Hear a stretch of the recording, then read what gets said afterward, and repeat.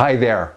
I don't know about you, but I love magic. Now, over the years, my appreciation for it has grown to include the commonplace that once would have gotten you burned at the stake.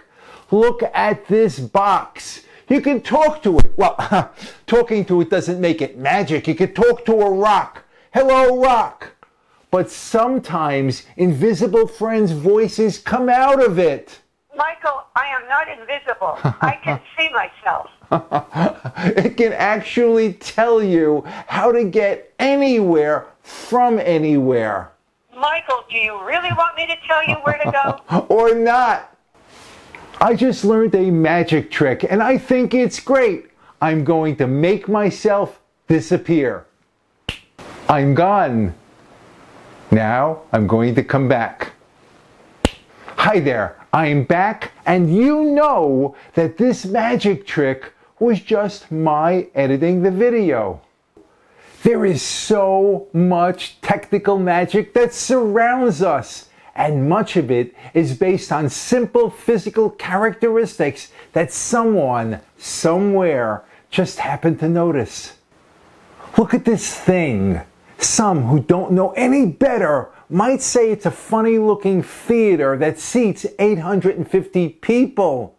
But you know better. You know this is a modern magic carpet because it flies. And airplanes do fly. They don't glide.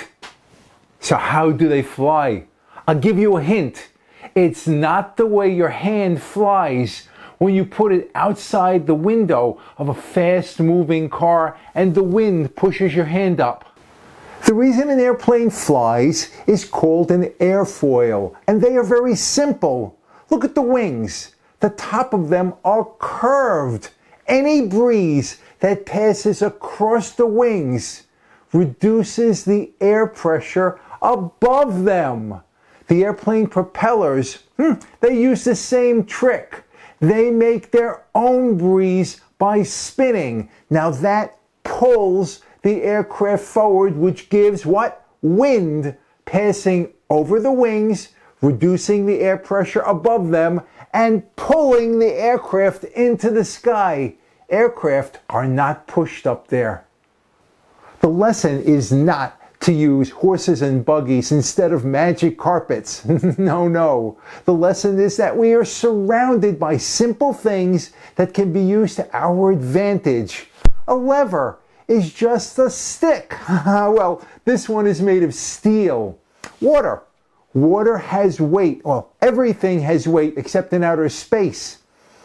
A hollow thing floats because air replaced water. That's how battleships work. Hmm?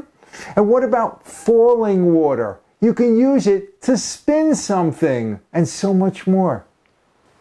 The lesson is not to simply ask why, but rather to understand the answer. Now, you may have to ask a few more questions, but at the end, you have to figure out how to use what you've learned. By the way, Two states have the honor of starting aviation. Dayton, Ohio is where the Wright brothers invented the first plane in 1903. Kitty Hawk is where it flew for the very first time on December 17th. Orville was the pilot, and he went 120 feet in 12 seconds. Put that in perspective, that's about the length of one 747 wing. And another, by the way, after another year of working in their bicycle shop wind tunnel, bicycle shop wind tunnel, how's that? A better Wright Brothers airplane flew for 39 minutes. It went 24 miles at an average speed of 38 miles an hour. All it did was circle the field until it ran out of gas.